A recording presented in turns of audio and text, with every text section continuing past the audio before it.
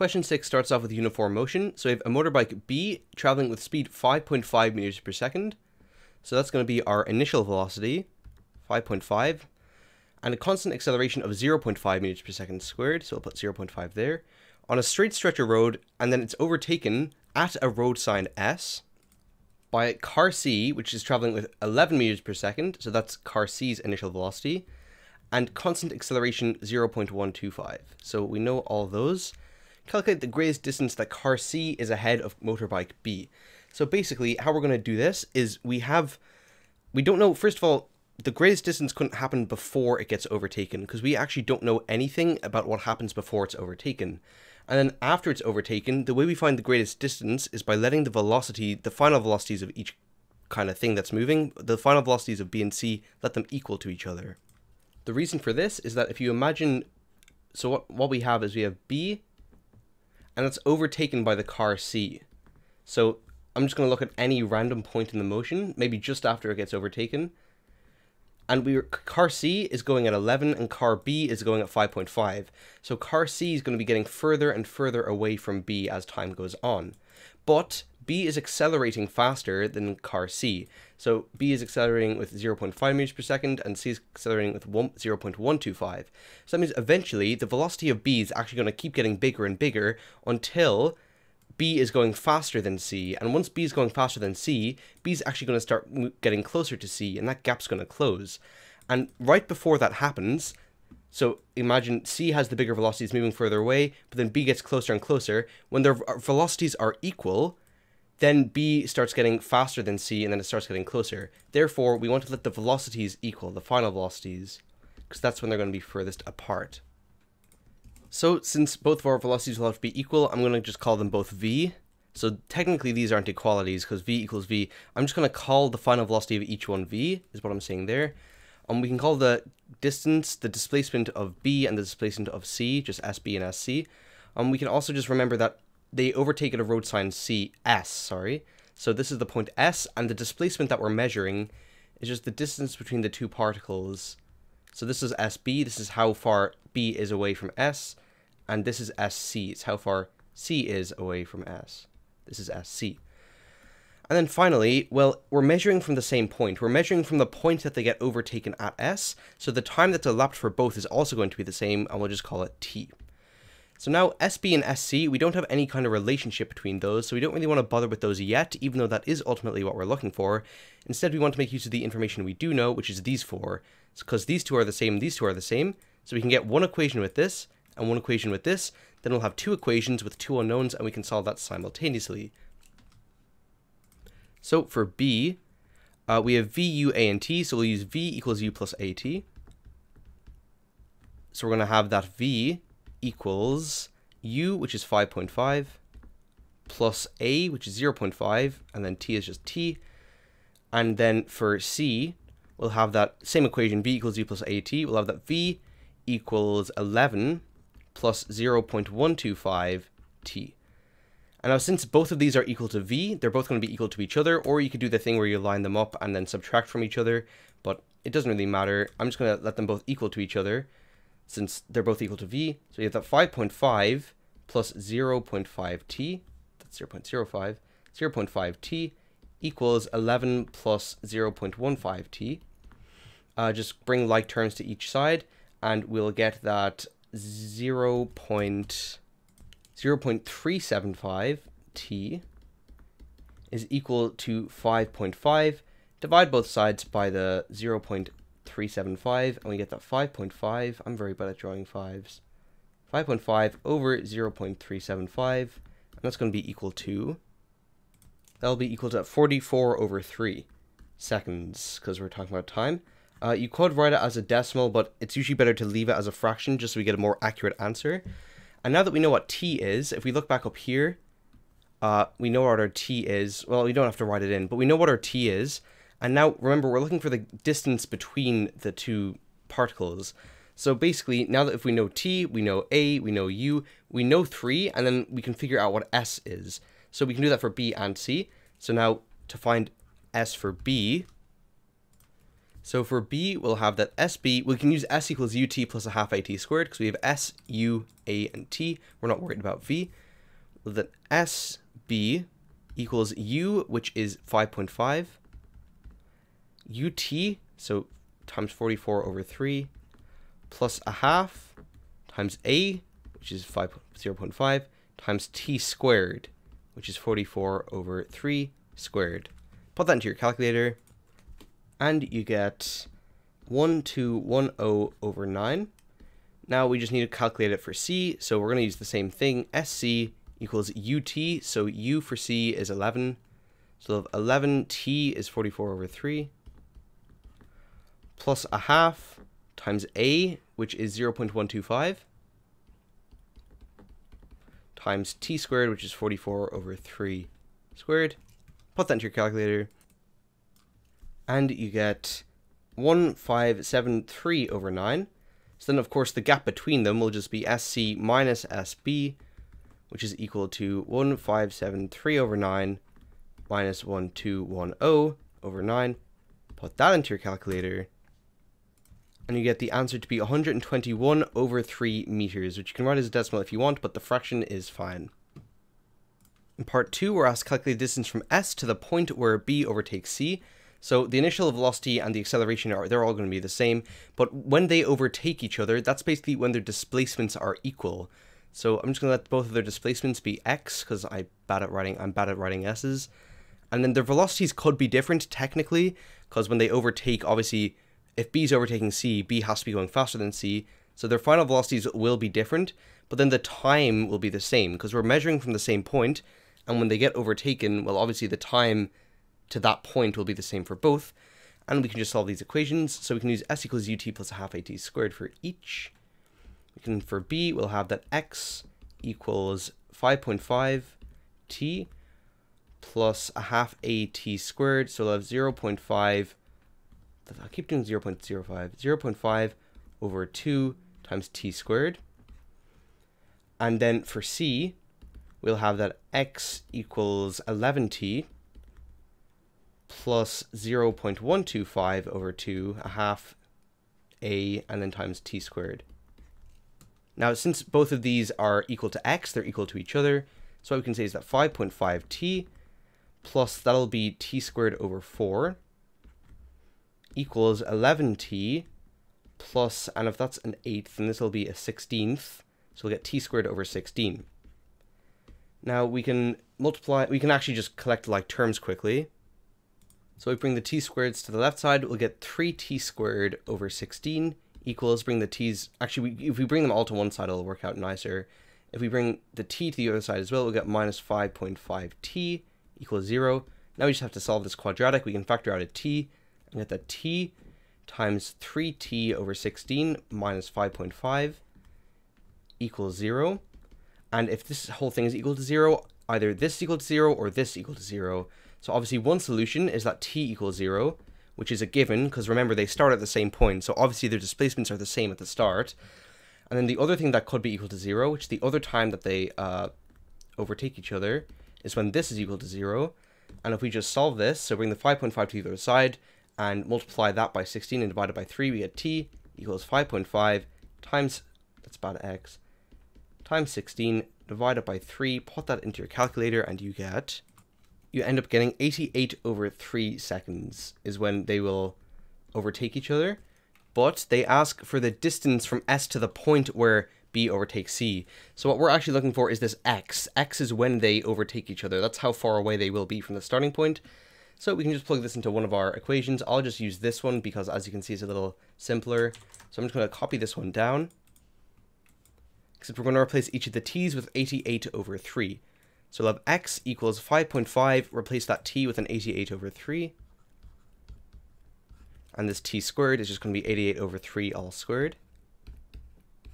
Squared, put that into your calculator, and you get that x is equal to 3388 over 9 meters which again you can write as a decimal, but it's more accurate if you leave it as a fraction.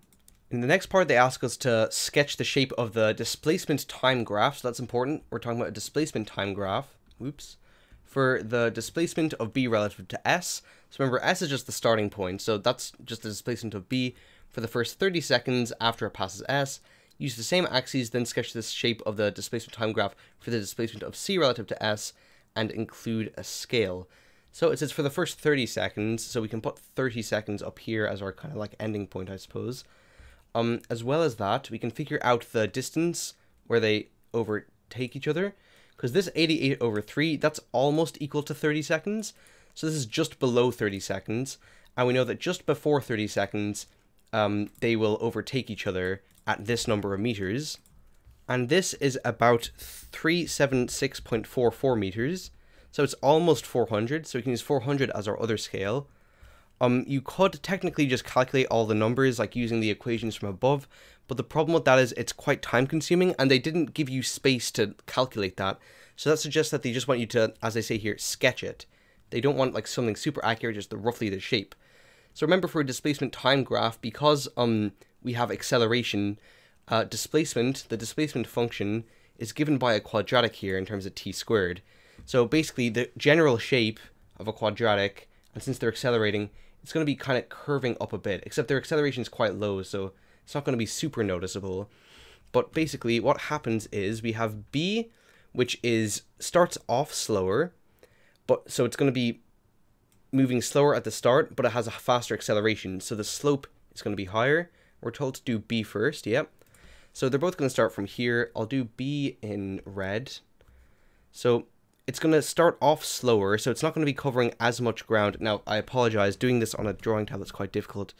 So it's going to start off quite slowly, um, because obviously, that's bad. Obviously, it's, um, it starts off slower, but it kind of accelerates faster. And it's going to be slowly but surely kind of going upwards until we get to 30, where it's going to be about there. Um, and then we could say that the other one, it's going to start off faster, so it's going to cover, so that's for S of SB.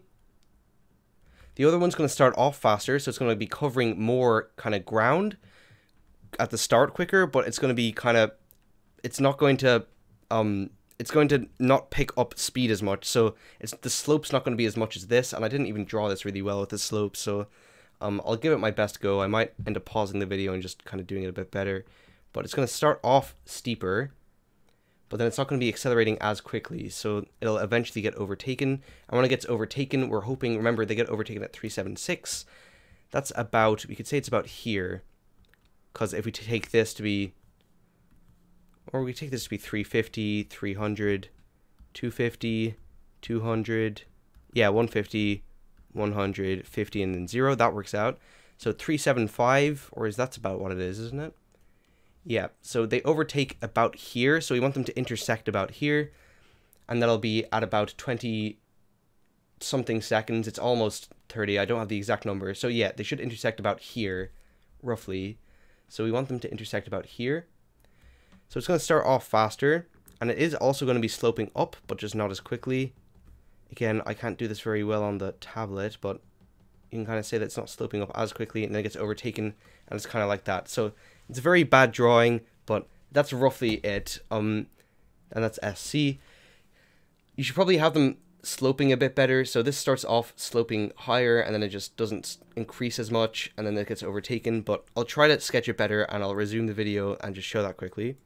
So I did it again and this is kind of the main point. You can see SB is increasing, but not su super quickly, and it starts off by covering less ground because it's going slower at the start. And then SC starts off going faster, but then it's not increasing. You can't. It's not really increasing at all because the acceleration's so slow, and therefore it just almost looks like a straight line. And then they overtake about here. It doesn't have to be super accurate. If you had time and you wanted to be super exact, you could do some numbers and some calculations with the formulae above, get some of the main points and this is the way the marking scheme shows it. But yeah, I wouldn't worry too much. I don't think they'd ask that on like an actual exam. As is in the description of each of these videos, the deferred exams are a little bit rushed and not as well thought out.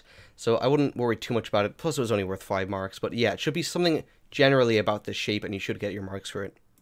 Part B is the first time we've seen dynamic programming on a higher level exam. So this isn't super um, important. We're just trying to find the shortest path, the cheapest plan, So we're just made, meant to do dynamic programming on this. How can you tell? It's broken up into stages, and we can't do Dijkstra's algorithm with negative numbers, so the only other algorithm we can use is dynamic programming or Bellman's algorithm. So they gave you about a box and a half to answer this, but um, unless they tell you to use the box, I personally prefer to do it on the graph just because it takes less time and it's just a bit simpler to me. But if you're kind of running low on space or you're more used to using the boxes, then you can do that. So I'm going to start off by, remember we work backwards, so we're trying to find x to y, I think. What does it say? Yeah, so x and y are the initial and final, so y is going to be our final one. So we have y here, and we're going to have a look at each of the three other ones and how long it takes for them to get back to y. So for f, we'll have 26 going to y. For g, we'll have 47 going to y. And for h, we'll have 24 going to y. And of course, these are the only options for each of these nodes, so these have to be the optimal ones. So we mark them all as optimal. Um, then for our next stage, we have D, and for each of these, we have two options. So for D, we could either do 28 plus 26, which is 54, going through F, or we could have this 23 belongs with this edge, because otherwise this 35 would have nowhere to go. So we have 35 plus 24 is 59, going through H. Of course, we're going to take the 54 through F as our optimal policy for D. So we can kind of just, I'd highlight these red or something. Or maybe you could also, I think it might be a good idea if you redraw this in your um, box below. But for now, I'm just going to highlight it red or, or yeah, just so I can kind of remember. And then I might draw it below at the end. So all of these are optimal. So we'll just draw arrows through each one. Like so. Didn't do that very well. There we go. Um, and then for E, we'll have the 23 going up to F. So 23 plus 26, that'll give us 49 going through F. I actually might write them beneath just to give myself more space. We'll have 49 through F. We're going to have minus 5 plus 42. That'll give us 40, 47, sorry. That'll give us 42 through G. Of course, that's better. That's our optimal policy for E. So for E, we always want to go to G since that'll be better. For the stage before that, we only have one option for A, so we'll have the 7 plus the 54, since that's our optimal policy there. We'll have 61 going through D, and that's the only policy, so that's the best one. Um, here for B, we have two options. We have minus 9 with the 54, will give us 45 going through D. Or we'll have B to E, which is 42 plus 4, which is 46 going through E. Of course, 45 is better, so we will choose that and just highlight going down. Sorry, we're going to go with the one to D. It's smaller. And same up here just for the A. Even though it's obvious, I'm just going to color it in red anyway. And then finally for C, we'll have 11 plus 42, which is 53 going to E. That's our only option, so that's the best one for C. Finally, for X, we have three options. 12 plus 61 will be 73 going through A. We'll have 15 plus 45, which would be 60 only, going through B. And then we have 8 plus plus L53, which would be 61 going through C. Of course, the 60 through B is our best, so we draw an arrow here going to B. And this is, we're now done with dynamic programming since we finished this, reached the start again. So when we redraw our thing below, and this is kind of a way of showing your workings. In the marking scheme, they just have the big table, which is also good if you want to use the table, but I think this is just a bit faster, unless you prefer the table or you have to use the table, but in this case, they don't tell you. So um, we found here that the cheapest cost, that should be red again, the cheapest cost was 60, and um, they didn't tell us any units, it didn't say in euros or anything, so 60 is the optimal policy, so 60 is the cost, or optimal policy. And it also says to state the route, I believe. Uh, the plan which minimizes the cost of maintaining the road. So you would have to kind of make sure that you're telling what is the plan, what decisions are they actually going to make. Well, let's have a look. We'll have X going to B, which goes to D, which goes to F, which goes to Y. You can just read that straight off the graph. Um, you probably don't need to say what the optimal policy is or what the cost is because it just says what's the plan that minimizes the cost. So yeah, that's it for part B.